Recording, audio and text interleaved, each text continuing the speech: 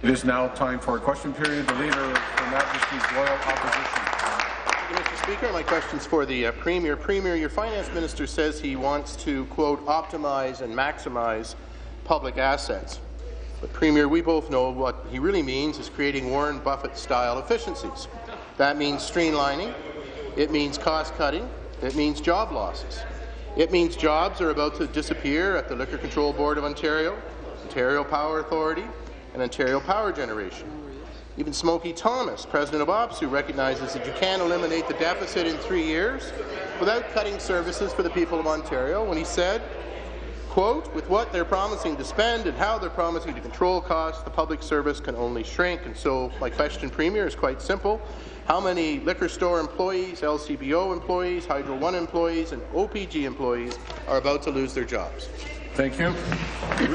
Thank you very much, Mr. Speaker. Well, again, it is, I mean, it's an interesting situation when the uh, party that ran on immediately cutting 100,000 jobs in Ontario, Mr. Speaker, um, are questioning us about, uh, about that issue. So, Mr. Speaker, let me just say that the, uh, the reason we have asked Ed Clark and his team to look at the assets that are owned by the people of Ontario is that we want to make sure that Order. they work to the optimal value, optimal benefit uh, for the people of Ontario. And I have, uh, I have said a number of times, Mr. Speaker, that had we had such a process in place, had the government of the day had such a process in place when they were looking at the 407, Mr. Speaker, I believe that there would not have been such a bad deal for the people of Ontario because there's billions and billions of dollars of revenue that are lost to the people of Ontario and what, what was a public asset, Mr. Speaker, Thank you. because of the arrangement. And we're not going to do that, Mr. Speaker. Supplementary. Again, to the Premier. Premier, here's a chance to display some of that transparency and accountability you always talk about. Here's a chance to tell the lenders and credit rating agencies exactly what you mean by optimize and maximize. Here's a chance to tell employees at the LCBO, OPG, and OPA just how many of their jobs are on the line. So, Premier, why don't you just be honest? You tell the people of Ontario how many jobs you intend to maximize out the door? Thank you.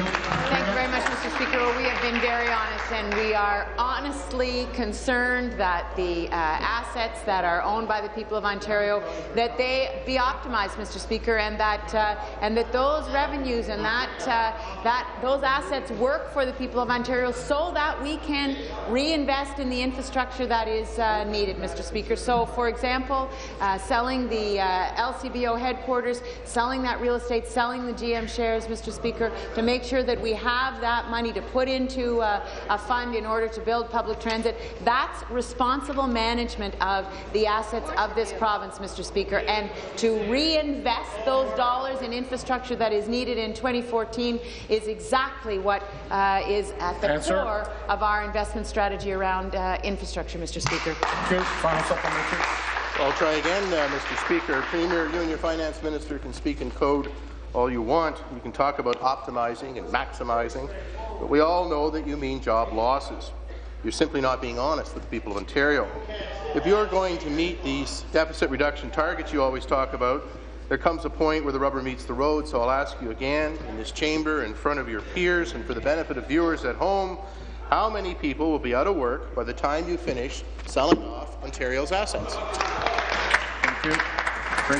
Thank you very much, Mr. Speaker. Well, you know, the reality is that the people of Ontario rejected the uh, proposal that was put forward by the member opposite and his team to cut and slash across government, Mr. Speaker, to cut public services. And what what the uh, what the member opposite didn't talk about was the services that would have been cut as a result of the uh, extreme and reckless plan that they were putting forward. That plan was rejected, Mr. Speaker. Our plan is to invest in the people of this province, to invest in their talent and their skills, Mr. Speaker. I was just at a forum this morning uh, with a visiting delegation from uh, China, Mr. Speaker, and I was talking to a, a business owner who is setting up a research and development um, uh, research and development ca capacity here in Ontario, and the reason Answer. for that is the talent and the skills of our people. He said that explicitly. Because of our educated workforce, they are locating Thank here you. in Ontario. That's the kind of investment we Thank you. New question, the member from Kitchener-Conestoga. My question is to the Premier. Premier, yesterday you told the CBC that you'd be, quote, adding more GO trains immediately to the Kitchener-Waterloo line. That statement is a big departure from your GO announcement earlier this year when you said it would take until 2016 for you to deliver the trains you actually cut four years ago as Transportation Minister. Gone trains. Premier, simple question. Did you misspeak yesterday, or have you learned from the error of your ways and now realize your decision to slash GO train expansion to KW should be corrected as soon as possible? Here, here. Minister of Transportation. For transportation. Well, thanks very, um, uh, very much, Mr. Speaker, and I, I thank the member from Kitchener for his question. Uh, this is the second opportunity that I've had since becoming the Minister of Transportation uh, to stand in my place here in the House and respond to a question from that member regarding the crucial investments that we are making in his community and communities right across Ontario. And I'll repeat today, Speaker, uh, what I said on the occasion of responding to that first question, which is this is one of the reasons that it's extremely important for members of that caucus and that particular member to support the budget that we've reintroduced in this legislature, Speaker. We are proposing, we are planning and we are committed to investing $29 billion in crucial public transit infrastructure which will serve communities like Kitchener-Waterloo. Uh, and I know that that member will want to work with us, in particular our members from his region, like the member from Kitchener Centre, to make sure that we implement a plan that makes sense for everybody Answer. living in his community and right across Ontario. Thank you. Speaker, I, I know the new minister is keen, but these were the comments that were actually made Yesterday. by the Premier. Yesterday. So, Premier, I'll ask you again. Premier, I know you've got a majority, but you can ignore me, but not the constituents that I represent.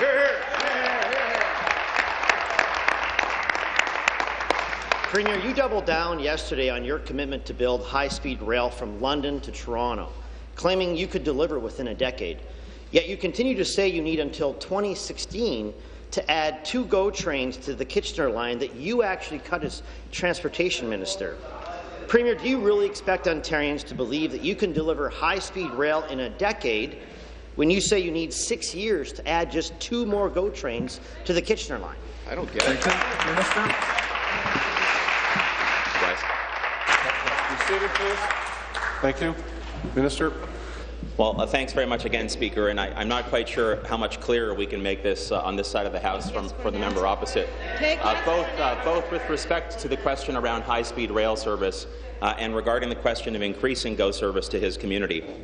Uh, I just want to reiterate, try to make this as clear as I possibly can. Our government is committed to bringing full-day two-way GO train service uh, between the, the Waterloo region and the GTA. As we've said, this is a plan that's going to take place over the next number of years. The $29 billion that are included in our budget for these kinds of investments will help make sure that we can make this commitment uh, become reality, and we are determined to make, uh, make that uh, the case, Speaker. I should mention uh, that, as we've said in the past, by the end of 2016, Metrolinx will be adding four additional trains, two in the morning uh, and two in the afternoon to serve the Kitchener station. It's also important to note, Answer. Speaker, that since 2003, Ontario has invested $19.3 billion in public transit, specifically including $9.1 billion for GO service. I Thank you. again call on that member to support our Thank budget you. to help his community.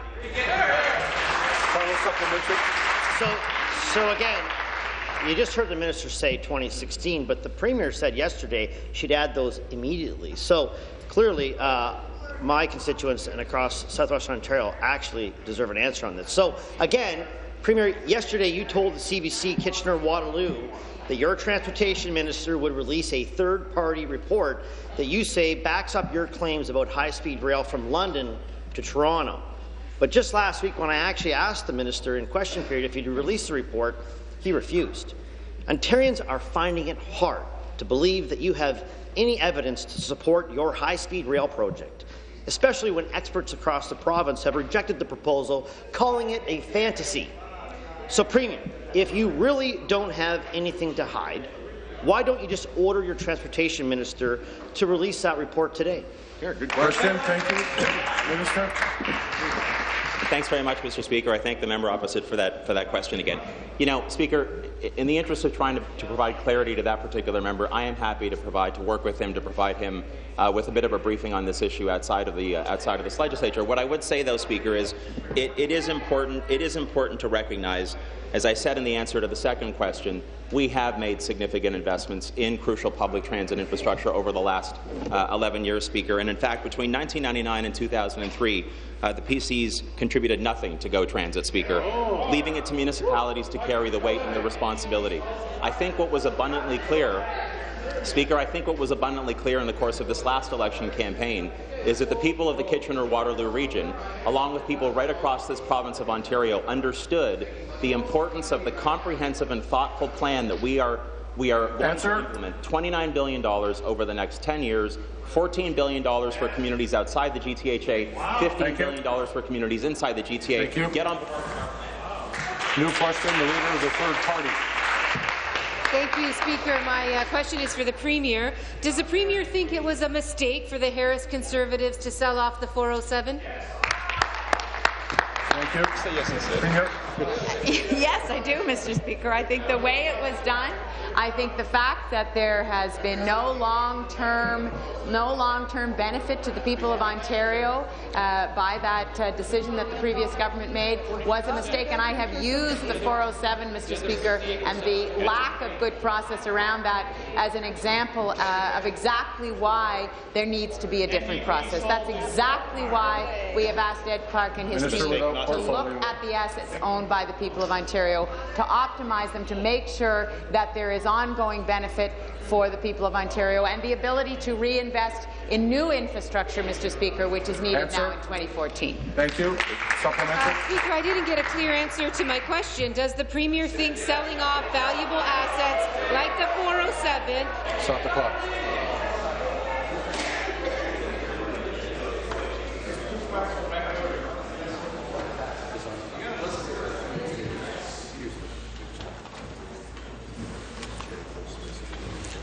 Please finish.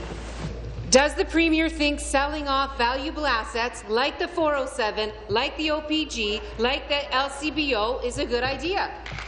Thank you very much, Mr. Speaker. Well, I think I know where the um, member's going on this, Mr. Speaker. I think that the leader of the third party is trying to suggest that that's the agenda that we're sneaking into uh, into uh, the legislature and into government. Mr. Speaker, it is it was a mistake to deal with the 407 in the way that the Conservatives did. That is my opinion, Mr. Speaker. I believe that there could have been a much better long-term benefit to the people of Ontario. It is also a mistake, Mr. Speaker, for a government never to review the assets, never to look at whether they are they are producing the the maximum benefit for the people of Ontario. So, Mr. Speaker, we're not going to make that mistake. We're not going to make either of those mistakes. We're going to have a process that is responsible, that is prudent, that looks at Answer. those assets and makes sure that they are performing for the people of Ontario. Mr. Speaker. Thank you. Final supplementary. Well, Speaker, nobody thinks the Liberals are sneaking anything anywhere. Her plan is based on $3.15 billion coming in the door from the sales of assets. It is clear as a bell in their budget. And we know that in the long term, these kinds of activities, these kinds of sell-offs, are a bad thing for the people of Ontario. It sets our province back. It cuts out sources of revenues. It leads to higher costs for the people of this province, Speaker. So why does the Premier think that asset sales are okay as long as they do it the Liberal way? Premier. So, Mr. Speaker, what I think is not just okay but responsible is that government look at the assets that are owned by the people of Ontario and that we make sure that in 2014 those assets are working in the best way possible so that the infrastructure that is needed, the investments that are needed now can be made. So part of our plan, it's not our whole plan, but part of our plan is to look at those assets, to ask Ed Clark and his team, who have expertise, to look at those assets and make sure that they are working to the best advantage of the people of Ontario. That's responsible. That's what we're doing, Mr. Speaker. That's Answer. not what the previous government did with the 407. Thank you. New question. The Leader of the Third Party. Thank you, Speaker. My next question is uh, for the Premier. Does the Premier think that Ontarians voted for austerity and cuts? Mr. Speaker, well, what we know, what we know the people of Ontario did not vote for, Mr. Speaker, was a disparate, disconnected list of ideas that were basically based on our fiscal plan, Mr. Speaker, and didn't hang together and had no coherence. So they didn't vote for that, Mr. Speaker. They did not vote for the Leader of the Third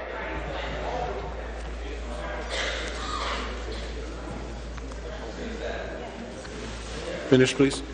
What we, the plan that we put forward, Mr. Speaker, was a plan that would build the province up. It's a plan that was rooted in the budget that we introduced at the beginning of May that would invest in the people of this province and their talent and their skills, which is drawing investment from around the world, Mr. Speaker, that would invest in the infrastructure that's needed, whether it's the roads and bridges in northern and rural Ontario or the transit in Answer. our urban centres, Mr. Speaker, and would set up an Ontario retirement pension plan so that uh, people would have retirement security. That's what the plan is that we put forward. That's the plan we are eager to implement, Mr. Speaker. Speaker, does the uh, Premier think that Ontarians voted for the cost of everyday life to go up for them and their families? Thank you, Premier. So, Mr. Speaker, what we know is that if we do not have an economy that is thriving, then it will be very, very difficult for people to find jobs, Mr. Speaker. It will be difficult for our children and our grandchildren to have retirement security, Mr. Speaker. It will be extremely difficult to draw businesses to the province. So, what we need to do is make sure that we make the right investments now, that we have the uh, constraints in place so that we can eliminate the deficit by 2017-18, Mr. Speaker, but making the investments in the province and making sure that we don't leave the most vulnerable behind. All of that is part of our plan, Mr. Speaker. That's the plan we ran on. That's the plan that we are eager to invest, and that's the plan that the people of Ontario voted for. Thank you. Final supplementary. Speaker, the Liberals insist that their budget is progressive, but this is what people see. They see that yesterday the finance minister gave auto insurance companies another boost, while drivers continue to not see any savings. They see the Liberal plan will send hydro rates up by 42 percent, another skyrocketing increase over the next number of years. There is growing acknowledgement, a chorus of growing acknowledgement, Speaker, that the job cuts that are hidden in this Trojan horse budget will be significant. And they see a premier who can't explain why she's moving forward with asset sales when she used to oppose them, Speaker. People have some pretty simple questions about this Trojan horse budget, and my question to the premier is, why will she not come clean with the people of Ontario? Question. Thank you. Premier. Mr. Speaker, there was a lot in that question. I'm just going to uh, I'm going to focus on the auto insurance. Uh, the NDP through, heard this throughout the candidate. Uh, the leader of the third party's candidate for Halton tweeted, "quote Just got my latest car insurance payment update, and I'm paying $22 less a month. That's $260 less a year. There's been, on average, more than five percent reduction, Mr. Speaker, in auto insurance." And and I think that the, uh, the leader of the third party knows that what people see in our budget, Mr. Speaker, many of them uh, across Order. the board, they see $2.5 billion in a jobs and prosperity fund, Mr. Speaker. They see $130 billion in public infrastructure investments, $11.4 billion in hospital expansions, a made-in-Ontario retirement pension Answer. plan, an increase in the Ontario Child Benefit, an increase in social assistance benefits, and $810 million for people with developmental disabilities. That's all part of our plan. Thank you. New question. The member from Leeds Grenville. very much, uh, Speaker. Good morning. Uh, my question through you is to the Minister of Community Safety and Correctional Services. Minister, it's been uh, seven years since Ashley Smith suffered her terrible death, and seven months since a coroner's jury made recommendations uh, so that uh, this type of tragedy wouldn't re- be repeated. On May 1st, the uh, federal government partnered with the Ottawa, Royal Ottawa Healthcare Group to fund a two-bed pilot project for mentally ill female offenders at the Brockville Secure Treatment Unit in my riding. The partnership between the federal government and the hospital is because of this uh, treatment model's outstanding results with mentally ill male offenders. Minister, you know there are far too many women like Ashley in our Ontario jails suffering. My question is, do you think Question. you should deny them access to a program male offenders have been able to access t- since 2003 because of their gender? Thank you. This is the Community Safety Thank, thank, thank you very much, uh, Speaker, and I thank the member opposite for, for asking a very important uh, question. I know it, it's an issue that uh, the member has uh, spoken about in the past and has ad- advocated, uh, and I know my predecessor, uh, the Attorney General, has worked uh, with the member opposite on this issue as well. And, and, as- uh, and Speaker, so do I. I, I continue to look into this matter. I've had the opportunity to speak with the CEO of the Royal Ottawa Hospital, which happens to be located in my community of Ottawa Centre. And most recently, I had a, a brief conversation with member opposite, and I look forward to continue working with him on this very important issue so that we are pro- pro- providing appropriate mental health treatment for all in- inmates uh, within our detention system. Thank you, Thank Speaker. you. Supplementary. Yes, you're right, Minister. I have uh, spoken to you and your predecessor about this. In May, a spokesperson told Global News your ministry, quote, would be willing to review any proposal put forward by the federal government. Well, your government has given me the same answer since 2010, and the federal government has stepped up, Minister. You're wrong. The Attorney General's wrong. Chair, please. It's time to drop the excuse that you can do nothing now that the feds are moving forward. The good news is you've got a great opportunity now to do the right thing. You know, Minister, the good work that the Royal Ottawa Healthcare Group does with mentally ill patients. You know the good work that they do. So I'm asking you, will you commit today to bring the province to the table and finally, finally move forward with a plan to treat mentally Question. ill women offenders? They shouldn't be in the jail. They should be getting treatment. Minister, when will you come to the Thank table? you. Be seated, please. Be seated, please. Thank you.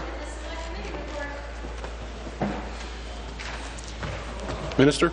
Thank you very much, Speaker. Again, I thank the member opposite for uh, for his his question, and I uh, I will restate that uh, this is a very important issue. We need to make sure, Speaker, that we are treating all our inmates with fairness, with respect, and they deserve the same access to supports as those uh, in the community. And I will continue, as the Minister of Community Safety and Correctional Services, I will continue to work along with all members of this House to ensure that those type of services are present uh, are uh, presented for inmates in our custody. Uh, Speaker, Ontario has now uh, has now in 10 correctional facilities with mental health nurses on site providing specialized services uh, to inmates and we are launching the forensic early intervention service at the Toronto South Detention Centre. It's the first strategy of its kind in Canada. There's a lot of work that is ongoing right now, Speaker, in our uh, correctional facilities Answer. to ensure that inmates with mental health challenges are given proper treatment. I look forward to working with the member opposite to make sure that female in inmates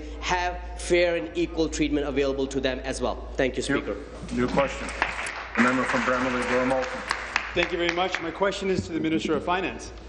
Mr. Speaker, four years ago, the Liberal government put $2 billion into the pockets of the insurance industry.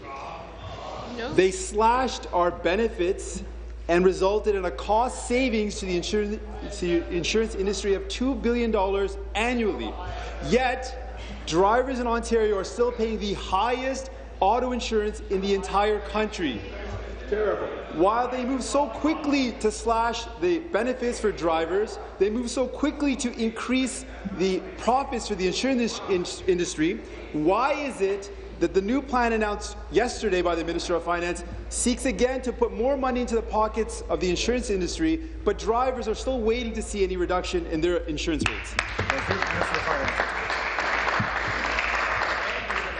Interesting question from a member across the way who says he's advocating for lower rates, and yet, when we tried putting forward legislation last February, found ways to stall it, delay it, and force us to having to now reintroduce it after a forced election, which, had it been done initially, would have resulted in lower rates today. We have been fighting for lowering insurance rates since 2003. We've taken measures in 2010 to provide for the anti-task force. We've been going forward in 2011. We've had private members from our side of the House that have been advocating for the same, and we will continue to do that obviously without their support because they voted against the very measures that would have reduced insurance rates by this point in time, Mr. Speaker. Mr. Speaker, the measures that the Minister of Finance is speaking about have no guarantee whatsoever of reducing insurance rates for drivers, but certainly will increase the profits for the insurance industry. Now, when asked yesterday point blank, will this minister and will this government be able to reach their 8% target reduction by August, the silence was deafening in the response by the Minister of Finance. Now, instead of guaranteeing, instead of guaranteeing that yes, there will be reductions, the Minister of Finance said, shop around. Shop around and maybe you can find them. Now, the budget is silent on any new measures to guarantee a reduction for drivers in Ontario. I have a very simple question for the Minister of Finance. It's very clear that the Minister of Finance is not going to reach the August 8% reduction deadline. Will the minister commit to guaranteeing a reduction for drivers instead of continually putting more and Thank more you. money in the pockets of the insurance industry? Minister of Finance.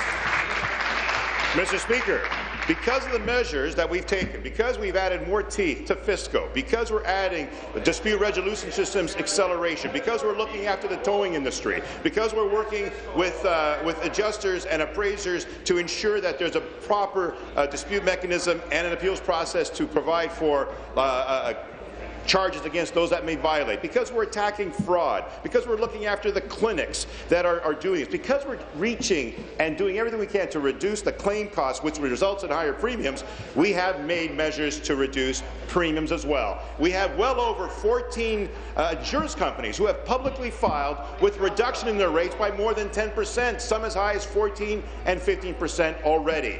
We have publicized this. We have put them in the, on the web pages. If, and his own colleagues Answer. have resulted, they themselves have said that they've already received lower rates because they've taken the measures and because they've made those calls. Thank you. We will act, obviously without Thank you. support because they voted against Seated, please. Your question. The member from York South-Weston. Thank you, Mr. Speaker. My question is for the Minister of Municipal Affairs and Housing. Safe and affordable housing is an issue that affects all Ontarians, whether they live in my riding of York South-Weston, in Windsor, or in Thunder Bay. During the recent election, the need for our government to continue investing in affordable and social housing was an issue that was frequently brought to my attention. And last week, in the throne speech, our government committed to building a fairer and healthier province, and that means greater access to affordable housing. The question I'm now being asked is how are we going to tackle this pressing need? So, Mr. Speaker, through you to the Minister, could he please explain what our government is doing and will do to ensure that we continue to invest in the vulnerable Ontarians who need greater access to safe and Question. affordable housing?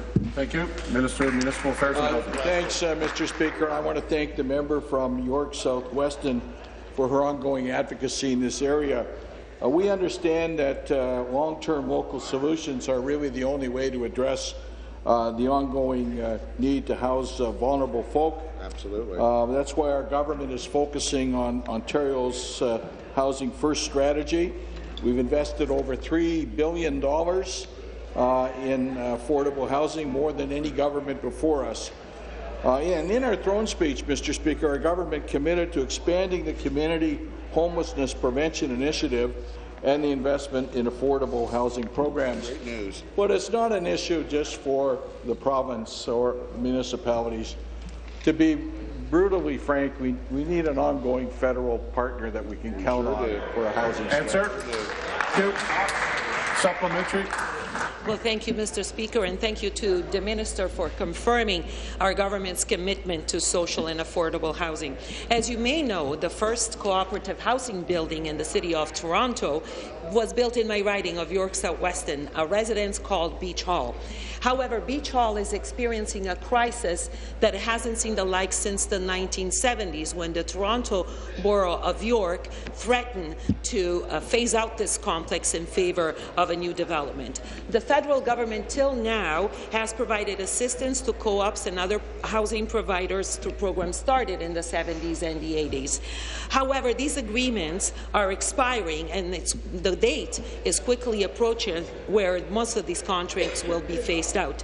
Now, many residents of Beech Hall are calling on the federal government to maintain the existing housing stock, and they believe that the federal government needs to come back to the table with long-term stable sources of funding. Mr. Speaker, through you to the minister, could he please explain what our government will do to ensure that the federal government maintains its funding? Minister. Mr. Speaker, our uh, government uh, certainly welcomed the March 2013 announcement by the federal government to renew the uh, joint housing program for the next five years. That said, they've also indicated that they're about to get out of maintaining existing social housing stock, which causes us some real concern. Sure. So it remains the fact that the federal government's contribution uh, is going to be reduced, reduce and reducing and reducing quickly over the next 15, 20 years. So if we're going to get on with the social housing and cooperative housing um, uh, opportunities that are presented and uh, which many stakeholders in, in Ontario have been able to avail themselves of, we are going to have to work together, the federal government, the provincial government, and the municipal government. And I hope the opposition uh, and the third party will Answer. join us uh, in our efforts, and particularly with respect to putting pressure on the federal government. Thank you. Here. New question, the member from Whitby, Oshawa. Thank you very much, Mr. Speaker. My question is to the Premier. Premier, Elizabeth Nicholson is a 24-year-old young woman who is living with a very rare disease called spinal cerebellar ataxia. This is a painful and disabling neurodegenerative disease which is ultimately terminal. Elizabeth's needs have recently become so significant that her family is not able to care for her anymore at home, given that she requires 24-7 assistance. Her family has finally found a place where she can live out her days in comfort and dignity. Although it's very difficult to find a place that can accommodate her needs, her family has found such a place in its Sunbeam Lodge in Kitchener. Yet the Ministry of Community and Social Services refuses to fund the $40,500 it will cost to keep her there for six months, which is just a little over $200 a day, which will keep Elizabeth there for, for what might well be her last six months. Recently, her family was forced to resort to the Question. internet to essentially crowdfund the money that she needs. Shame. Premier, on behalf of Elizabeth and her family, will you commit to funding her stay at Sunbeam Lodge Thank you. so that she can live out her days on comfort and Minister of Community and Social Services. The Minister of Community and Social Services. Well, thank you very much, Mr. Speaker, and thank you to the member for Whitby, Oshawa, for this question. Of course, we cannot discuss any particular individual case uh, because of issues of uh, confidentiality. Uh, but as a government, I know uh, that we remain totally committed to supporting those with developmental disabilities, uh, and we are providing additional services. We do take this issue incredibly seriously. I know the member opposite, from having worked with her previously on the Select Committee on Mental Health and Addiction Addictions is totally committed to issues around the vulnerable.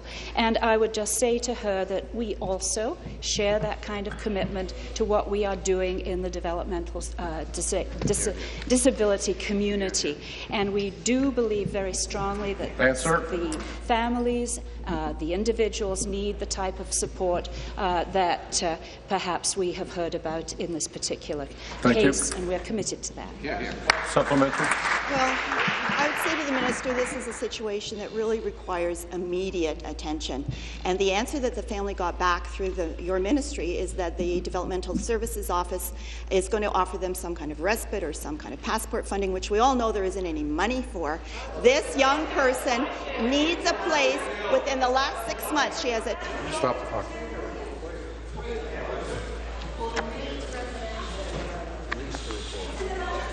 Thank you. Thank you.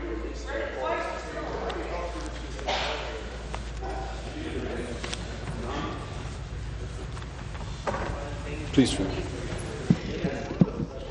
We have no idea what the money is funds for that's been allocated in the budget. You have not been forthcoming on that, but this is a very specific case where this young woman needs your attention, and all we get is a process answer. Well, you can't hide behind process on this. We all know that there is a way to do this if there's a will to do this. So, Minister, will you please summon the will and find a way to fund this young woman's stay for her what might be her last Question? six months at Sunbeam Lodge? Will you please do so?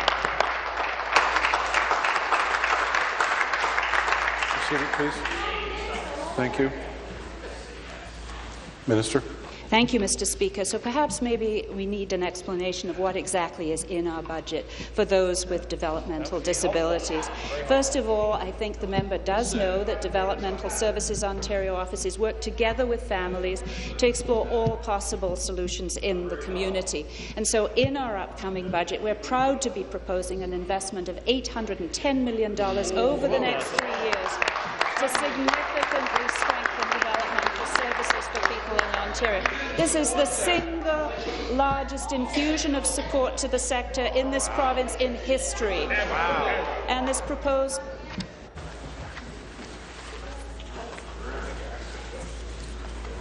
Please finish.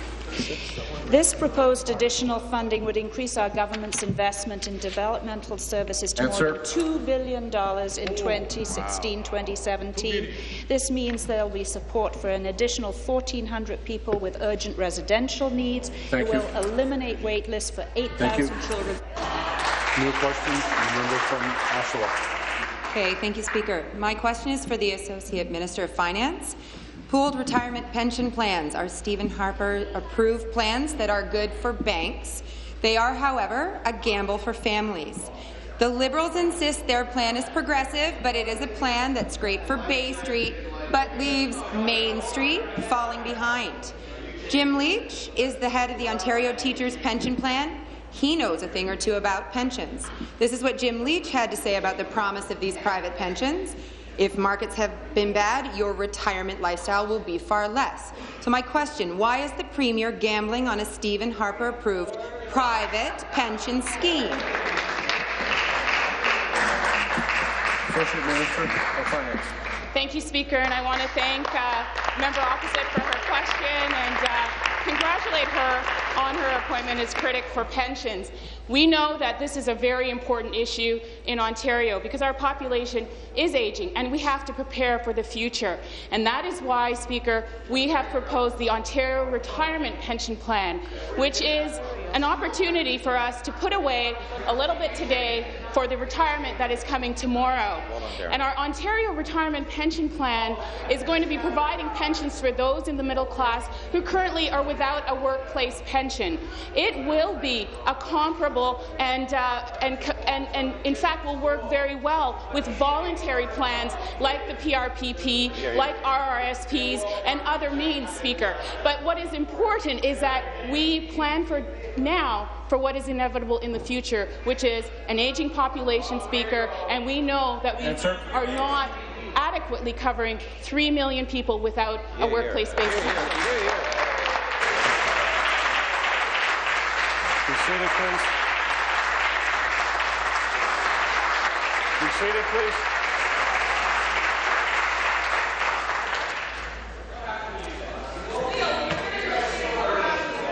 I, uh, I am now moving to warnings, individual warnings. When I get quiet, somebody uses that opportunity to, to say something, I'll get you. Supplementary. Okay. Well, like the budget, this pension plan is a Trojan horse plan. Yep. The Premier's rhetoric is all about a new public pension plan, but when you look inside, you find Stephen Harper's private pensions. Stephen Harper likes this plan because it helps out banks, and the bank fees on this PRPPs can take a third out of your retirement savings. It's just another way that Bay Street benefits and Main Street falls behind. So again, why is the Premier's pension plan putting banks ahead of people? Associate Minister. Speaker, the fact of the matter is, is that we actually took our plans to voters in Ontario, and they have overwhelmingly confirmed that.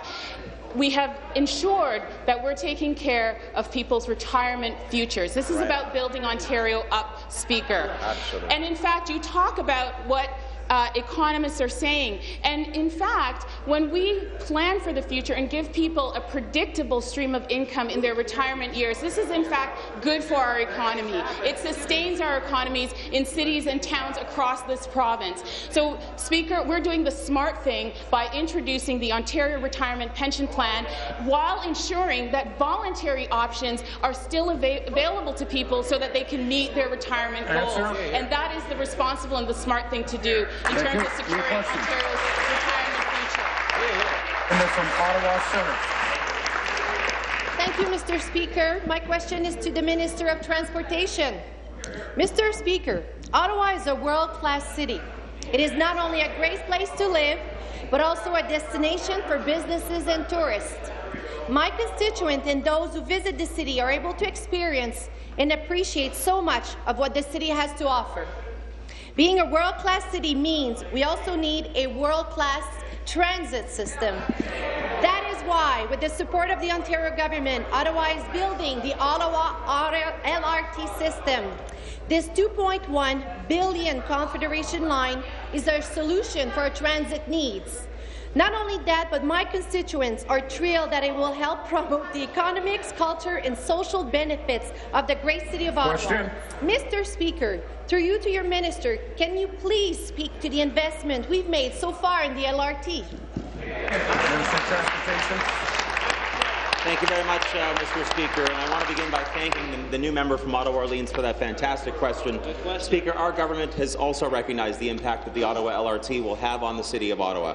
Uh, it is indeed a world-class city, a city that's population is projected to grow by 30 percent up until 2031, and public transportation is already nearing its capacity in the downtown core. And these are some of the reasons, Speaker, why in 2009 our government committed up to $600 million towards stage one of the Ottawa LRT project. Speaker, thanks to the advocacy of all of the caucus members that we have on this side from Ottawa, that is the single largest investment ever made to the city's public transit system from the provincial government. The LRT is something that all of our Ottawa caucus members have advocated for. Through them, the government has recognized the impact this would have on residents, tourists, Answer. and business within that city.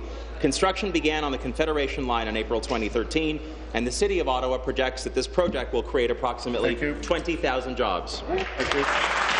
To correct my record, and I apologize for the- the member from Ottawa Orleans on a supplementary. Merci, Monsieur le Président. Thank you, Mr. Speaker. For his response, the benefits of the project to our city are vast, both socially and economically.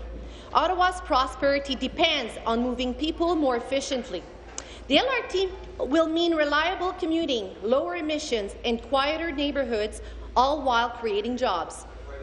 It is estimated that 67 percent of residents of Ottawa will live within 5 kilometres of the LRT. I know we're excited to see the completed LRT going down the road in 2018. Mr. Speaker, what's even more encouraging to the people of Ottawa Orleans and the rest of the City of Ottawa is that our government's investment haven't stopped here.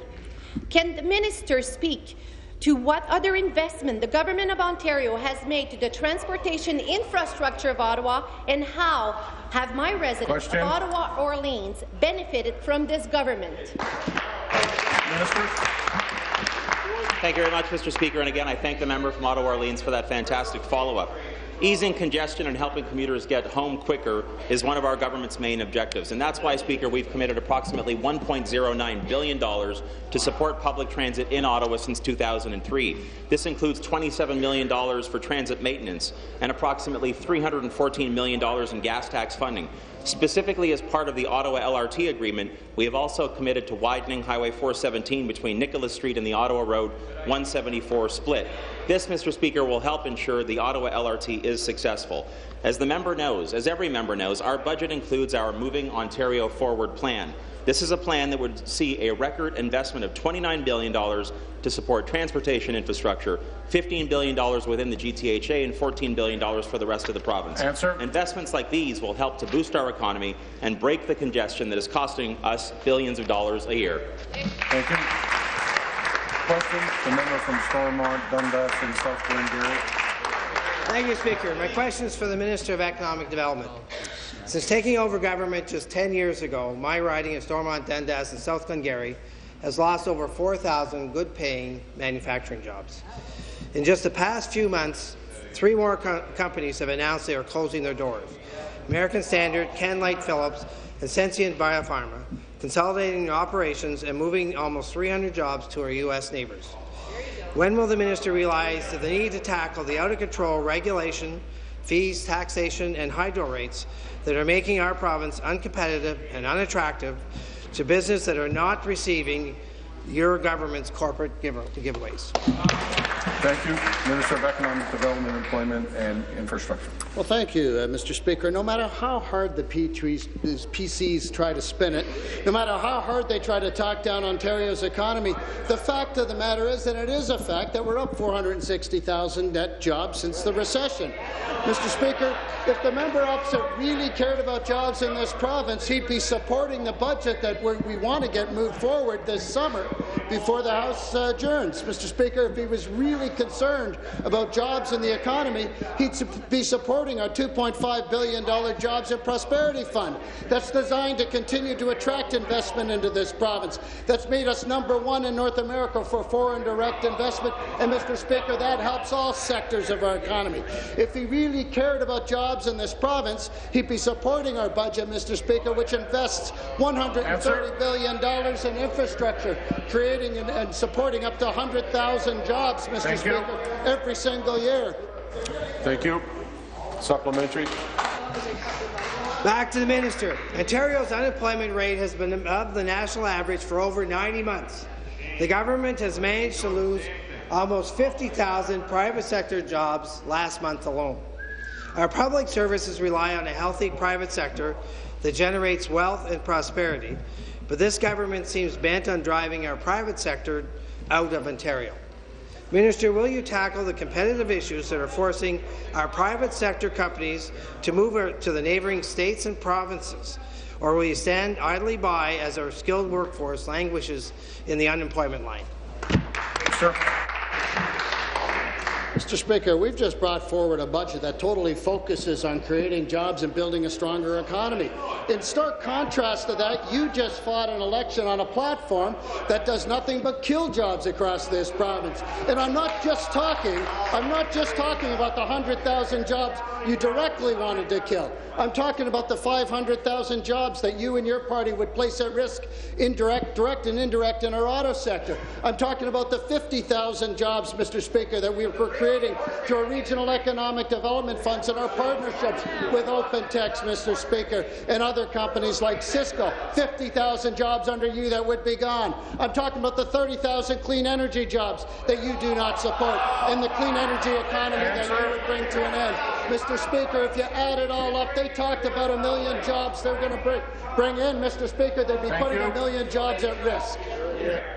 Thank you. New question. The member from London Fanshawe. Speaker, my question's to the Premier. A few days ago, Premier, you claimed that a high-speed rail link between London and Toronto was possible within a decade. And yet, high-speed rail is mentioned nowhere in your budget. No timelines, no funding, nothing at all. Mr. Speaker, if the Premier really intends to build high-speed rail to London, why isn't it mentioned anywhere in her budget? Minister of Transportation. For Transportation. Thanks very much, Mr. Speaker, and I. Um, I thank the member from London for that for that question. Obviously, high-speed rail is very, very important to our government. It's very important to the people of London, Kitchener-Waterloo, communities like Windsor and beyond. Speaker, I think it's important for everyone to understand that with almost $14 billion in new revenue tools that are provided for in the budget to fund transportation projects outside of the GTHA, this, uh, the high-speed rail project, is one of the ones that we plan to pursue to help create jobs and help boost the economy outside, uh, sorry, in the London area. Uh, as you may know, the government had undertaken a pre-feasibility study. The Ministry of Transportation had done that work, uh, and we are working hard uh, to work with all partners, municipalities and everyone else in the system to develop an implementation plan that makes sense. But this is why, as we've said throughout this week, throughout the budget debate, Speaker, that it's very important for members, particularly from those communities that will benefit greatly from the investments Answer. we plan to make, to support our budget, work with us, and get on with the projects. Thanks very much. Supplementary. Speaker, there is no funding for high-speed rail in the budget. It's not even mentioned in your budget. In fact, the government has been silent on how it will pay for transportation priorities that are mentioned in the budget. The government has only found half the money needed to pay for existing transportation promises, not including magical high-speed rail line. How will the government make up the difference? By selling public assets? By cutting programs? Mr. Speaker, Ontarians deserve the truth. Will the Premier finally admit she can't keep her promises and her government will deliver austerity, not a high-speed rail?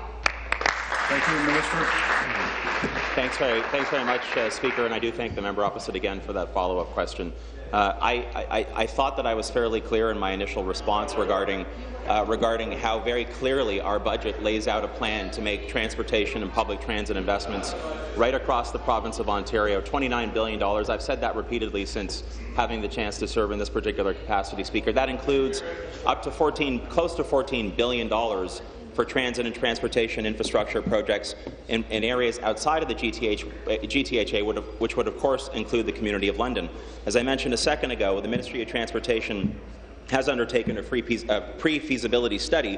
Uh, we are in the process of finalizing a business case and embarking on an environmental assessment.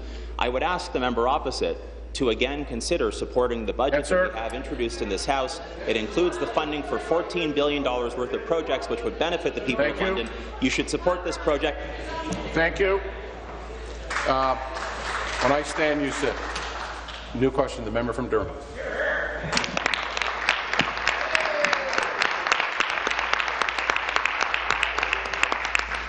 Mr. Speaker, my question is for the Minister of Aboriginal Affairs. Mr. Speaker, this government has been investing in people, investing in infrastructure, and supporting an innovative and dynamic business environment. We all recognize that a strong and vibrant Aboriginal community strengthens Ontario culturally, socially, and economically.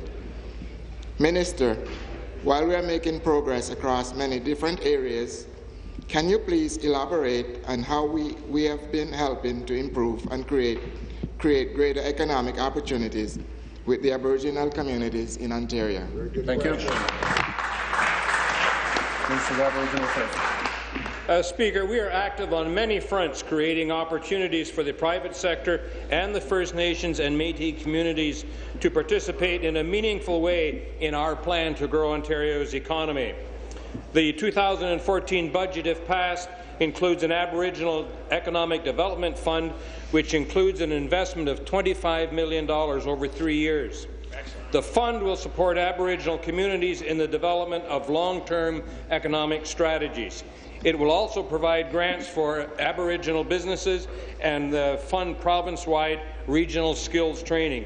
Mr. Speaker, this government recognizes the importance of economic development for Aboriginal communities and wants to see meaningful employment and business development for all Aboriginal communities in Ontario. Very good. Two supplementary.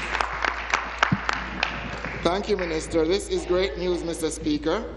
Obviously, this is a great investment both in helping people, communities and businesses to create a more robust business environment. Mr. Speaker, the, the, the, Aboriginal, the Aboriginal Loan Guarantee Program was announced as part of the 2009 budget as a way to both enhance Aboriginal participation in Ontario infrastructure and to encourage forays into renewable green energy. Mr. Speaker, last week I joined the minister in a meeting with Chief Marsden of Alderville First Nation near my riding of Durham to hear an update on the Alderville solar project. Thanks to the loan guarantee program, it, it is Question? the province's first ground solar farm wholly First Nation community. Mr. Speaker, through you to the Minister, what is the Ontario doing to ensure Thank more you. communities can benefit from this program? To Minister. Um, thank you. Uh, Speaker, the uh, 2014 budget, if passed, would uh, continue the Aboriginal Loan Guarantee Program, which was launched in 2009 to facilitate Aboriginal participation in renewable energy infrastructure projects. To date, the program has leveraged significant investments with 130 million in approved loan guarantees, which have supported investments of eight communities representing over 10,000 First Nations people in four projects that have invested, uh, uh, parlayed the investment into a total of $2.8 billion for the province. I did have the pleasure last week to meet with Chief Marsden of Alderville First Nation along with the member for Durham, and I'm happy to say that one of the four projects include the recently approved loan guarantee that will support a portion of the Alderville First Nations equity investment in the Alderville Solar Project, making it the first 100% Aboriginal-owned solar project in Ontario. The guarantee works to the benefit of all. Thank you. New question? The member from Simcoe North. Sir, Training College and University Speaker. Mr. Speaker, Bernie Fishbein worked as an advocate for the Electricians Union, representing them in over 60 separate legal cases over the past 20 years. Despite this obvious conflict of interest, your College of Trade saw fit to appoint him as chair of the Electricians Ratio Review Panel, where he went on to choose, rec choose recommend the ratio proposed by the union that employed him for 20 years. Minister, it, it is unbelievable that you have accepted this conflict of interest and done nothing about it. And, Mr. Speaker, yesterday the minister told the House he was going to appoint an advisor to review the boondoggle at the College of Trades. Mr. Speaker, in spite of this, his clear conflict of interest and in spite of his ongoing judicial review and his bias, Bernie Fishbein is apparently to be considered for this job, a re whole review of the College of Trades. So to the minister, will you be appointing this long-time paid advocate of the Electricians Union, Bernie Fishbein, to be your advisor Question. for the planned review of the Imperial College of Trade. Thank you. Minister of thank, you, Mr. Speaker. I want to thank the member opposite for that question. Mr. Speaker, the College of Trade has been doing a great job since it started its operation just about over a year ago.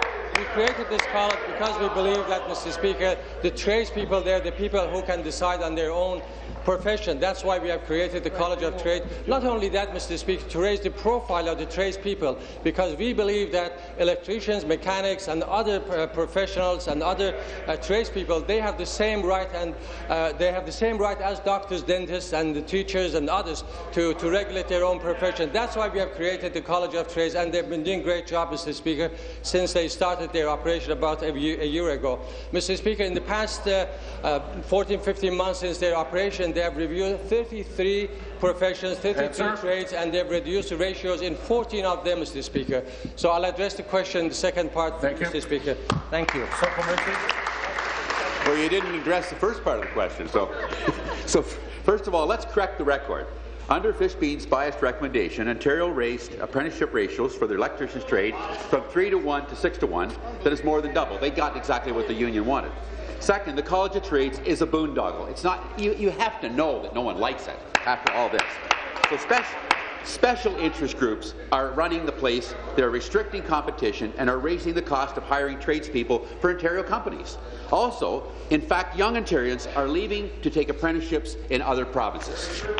So to the minister, have you had any discussions with special interest groups regarding the appointment of this advisor, Mr. Bernie Fishman, to the Ontario College of Trades? Minister, what deals have been made regarding Bernie Fishman's appointment? Minister. Thank you, Mr. Speaker. Mr. Speaker, uh, the College of Trade, as I said, has been doing a great job. And in relation to the uh, conflict of interest, uh, the member uh, uh, referring to it, the case is before the court, so I'm not going to comment on that, Mr. Speaker. But you know, Mr. Speaker, since we created the College of Trade for the past many, many years, when the members opposite uh, his party was in office, they never reviewed any single profession, Really? the ratios. They never did it. But the College of Trade, within just uh, 14, 15 months since its operation, they redu- reviewed uh, the ratios in 33 professions, Mr. Speaker, 33 trades, and they reduced the ratios in, in 14 of them. So they have been doing a great job, Mr. Speaker, and this is for the first time in the history of this province that we have a regulatory college for tradespeople, and they actually love to have this college, Mr. Speaker. They want to have the college. They want to uh, to uh, to decide on their Yes, sir. own profession. That's why we have created the college, and tradespeople they like the college in contrast to what uh, the, the member opposite claimed. Thank you. Mr. Speaker. New question. The member from Algoma, Manitoulin. Thank you, Mr. Speaker. Good morning to you. My question is to the Minister of Labour.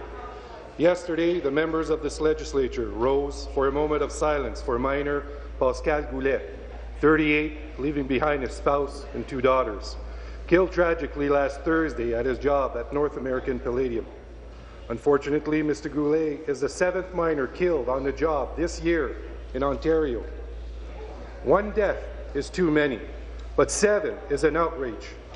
Miners and their families have a right to expect that they'll come home safe at the end of their shift. What will this minister do today to ensure that not one more miner is killed in this province and that their workplaces are safe? Question. Thank you.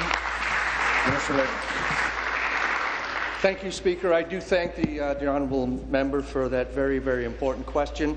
I was saddened to hear of the incident, as all of us were around the House, and uh, my thoughts are with this person's family and the colleagues that he was working with. I understand that we have uh, the Ministry of Labour inspectors on the site investigating. The Ministry's priority in this regard is to ensure that the Occupational Health and Safety Act is followed and enforced. The, the um, investigation is ongoing, Speaker. As you know, it would be inappropriate for me to, uh, to comment on any specific circumstances related to this incident. I will, I will tell you, though, that this government is committed to protecting the health and safety of miners and all workers in Ontario. We're leading right now, our Chief Prevention Officer uh, is leading a comprehensive mining safety review. It's got an external group of industry, labour, and health and safety reps and it's a year-long review. I look forward to those findings. And, Speaker, to answer the question specifically, I look forward to acting upon those findings. Thank you. Supplementary, the member from Essex. Thank you, Speaker, again to the Minister of Labour. Last year, the Premier rejected an inquiry into mining deaths and instead chose to review uh, health and safety. But at the very first public hearings, the government didn't even advertise to invite participants. So while we eagerly await the review's findings, miners in this province continue to die.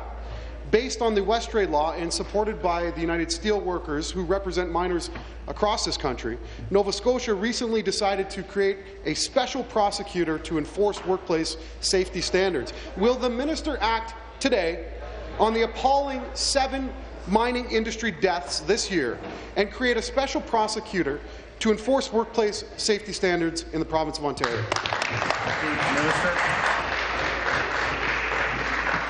Thank you, Speaker. As the, as, uh, the previous questioner noted, one death is too many.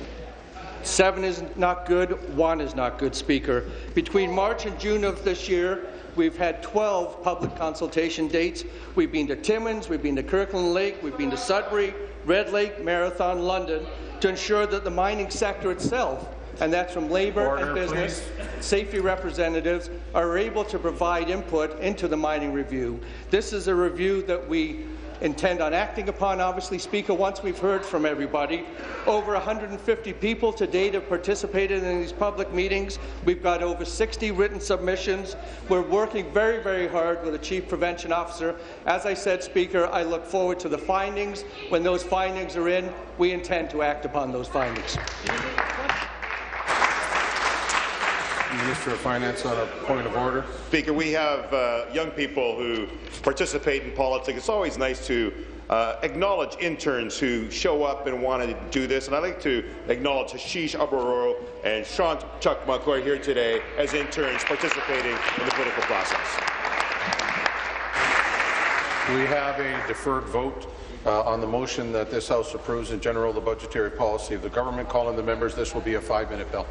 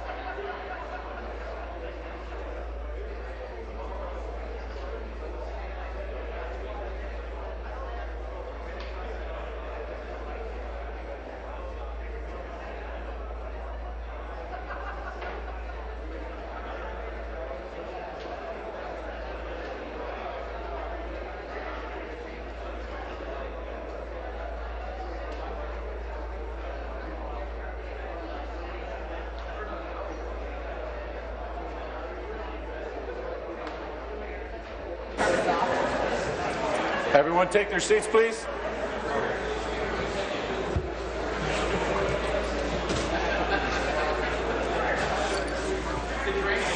Take your seats, please.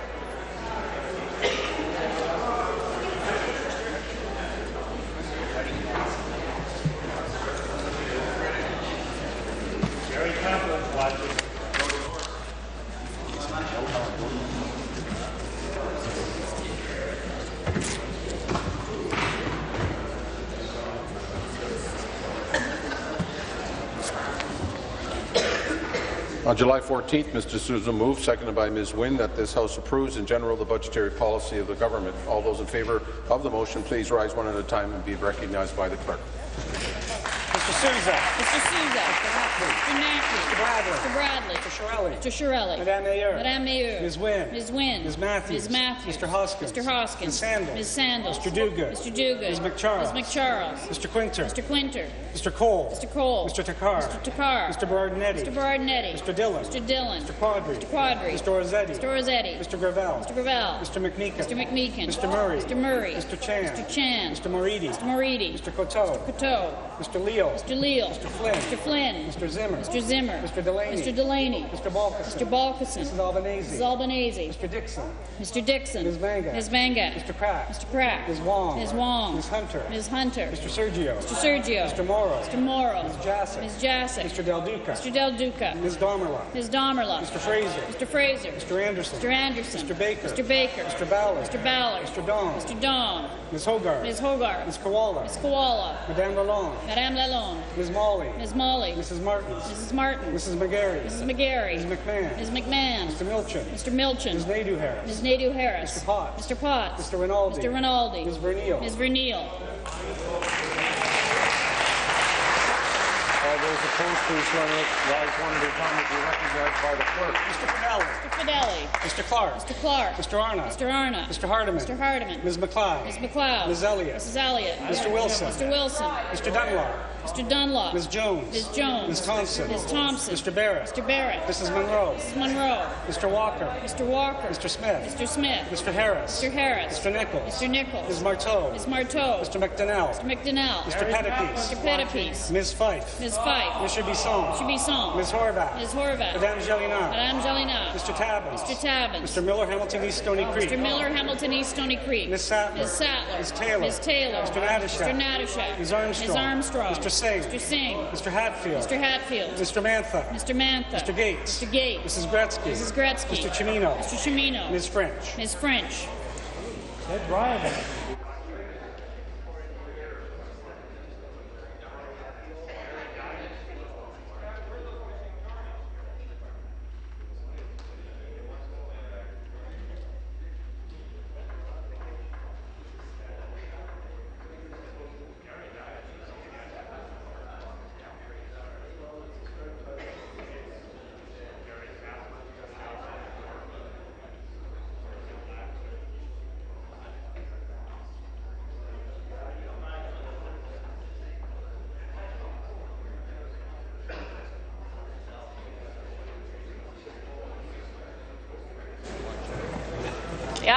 the nays are 36.